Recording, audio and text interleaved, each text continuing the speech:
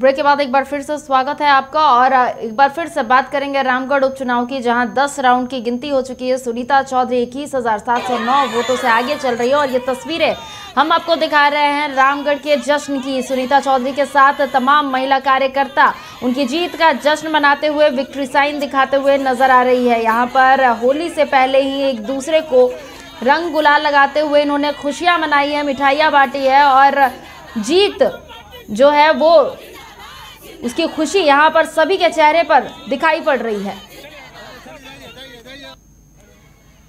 दूसरी तस्वीर यहाँ पर चंद्र प्रकाश चौधरी अपने कार्यकर्ताओं के साथ विक्ट्री साइन दिखाते हुए। खुशी का माहौल आजसू में इसके साथ साथ है एनडीए में भी।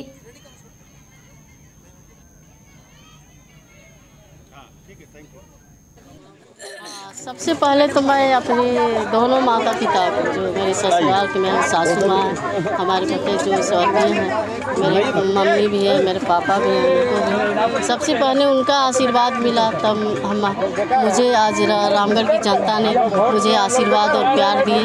उनके चलते ही आज मैंने जीत के प्राप्त हुई और हमारे एन आसू और भाजपा दोनों गठबंधन थे इस एनडीए प्रत्याशी थे उनका धन्यवाद करूँगी सभी पदाधिकारी को और सभी रामगढ़ की जनता को।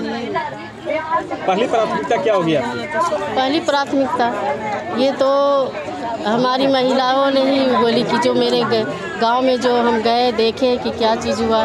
इस गाँव में तो उन्होंने बताया मेरा पहले, ये होना चाहिए, ये होना चाहिए, जो छोटा मोटा काम है। वृद्धा पेंशन है, आवास है, ये सब हमें महिला लोग ने बताई। तो हम बोले, ठीक है, मैं वो करूँगी, लेकिन सरकारी काम है, उसको धीरे धीरे एक साल में जो काम होगा, मैं ज़रूर करूँगी। इतने बड़े अंतराल से जनता ने आपको सराहा है, क्योंकि आप महिला हैं तो महिलाओं के लिए पहला आप क्या प्राथमिकता काम करेंगे? उनका हम जाएँगे महिलाओं के साथ और मैं उनका प्रतिक्रिया करूँगी कि उनको क्या चाहिए नहीं चाहिए। रोज़गार बता रही थी तो हम रोज़गार के बारे में उनको बताए कि आप लोग को रोज़गार तो मैं सहयोग करूँगी साथ करूँगी लेकिन जो आप लोग को करना है वो उसका मैं ये करूँगी साथ दूँगी।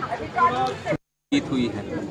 जीत को किस रूप में देख रहे हैं? देखिए यह जीत सरकार के विरुद्ध में यह मतदान हुआ है और एनडीए का एनडीए के लोग हमारे भारतीय जनता पार्टी आशू पार्टी के सभी कार्यकर्ता हैं जो सरकार के विरुद्ध में जो सरकार ने वादा किया था पूरा नहीं किया इस संदेश को हम लोग एक एक घर तक पहुँचाया है एक एक लोगों तक पहुँचाया है इसलिए सरकार के विरुद्ध में रामगढ़ की जनता जो यहाँ का सीटिंग सीट है कांग्रेस का उसको उसको नकारते हुए एनडीए को जीत दर्ज कराई चौबीस की तैयारी मानी जाए।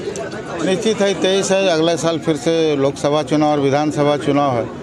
और यह परिणाम ही बता रहा है कि 2024 का रिज़ल्ट क्या होगा। जीत हुई